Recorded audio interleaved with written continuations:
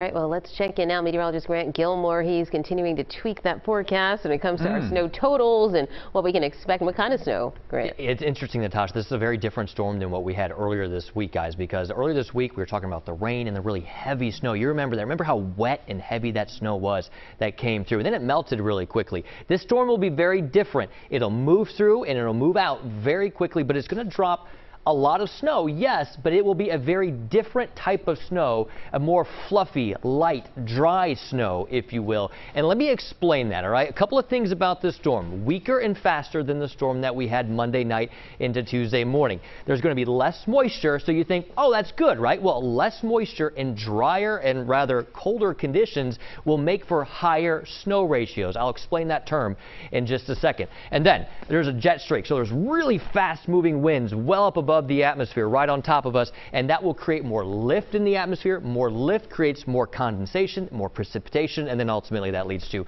more snow. But again, this system is going to be moving much faster. Let's talk about snow ratios, okay? We all know when it, when it rains, we get one inch of water. Well, Similarly, with snow, we have one inch of water available. We call that precipitable water. Now, under that given condition, that constant, it really depends on the temperature and the atmospheric moisture, that relative humidity, for what type of snow is going to fall. Earlier this week, we had temperatures in the mid 30s when it started to small. That would give us a very wet snow. That gives us a snow ratio or a snow to liquid water ratio of about 5 inches to 1 inch of that precipitable water.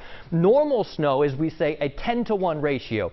10 inches of snow to 1 inch of precipitable water. Meanwhile, what we're more in line with with this system is more of a 15 to 20 inch snow to one inch of that precipitable water. And that's where you get more of a fluffy snow. The snowflakes are drier. There's not water around it, or there's not liquid around it that would cause that snowflake to condense and compress. Think about it when you have one of those, like a cup of ice. If you have that real fresh ice, that ice sits up higher in the cup, right? As it starts to melt and the ice cubes start to get a little bit more watery, that ice is condensing and it's slower in the cup. So that's, that's the difference. And I think the bigger difference for you if you're shoveling that lighter, fluffier snow, is three pounds per cubic feet, whereas a wet snow, I know it's at the bottom of the screen, they're hard to see, but it's 20 pounds per cubic feet.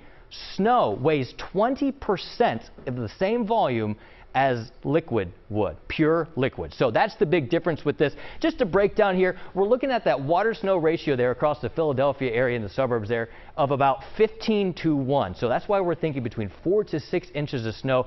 I think it's a little bit drier, a little bit colder as you get into the Pocono, so it's an 18 to 1 snow to water ratio, but there's not as much moisture available, but still the efficiency of the snow to accumulate will be a little bit better up into the Poconos. So still three to five inches of snow for you. It will be a wetter snow into the Jersey Shore and the Delaware beaches. So an eight, eight inch to one inch snow ratio one to three inches there down the shore closer to the coast because it will be a little bit warmer and that snow will be wetter. So where is this thing? When does it get here? When do we start seeing those light, dry snowflakes? Likely sometime between 10 and 11 o'clock this evening. It all rolls in. This will be the intense snowfall, likely overnight between 2 to around 4 o'clock in the morning. Guys, real quick here, I want to show you the totals. We just updated these. That's why we're thinking 4 to 6 inches of snow right through the Delaware Valley areas north and south. Getting a little bit less. Back to you.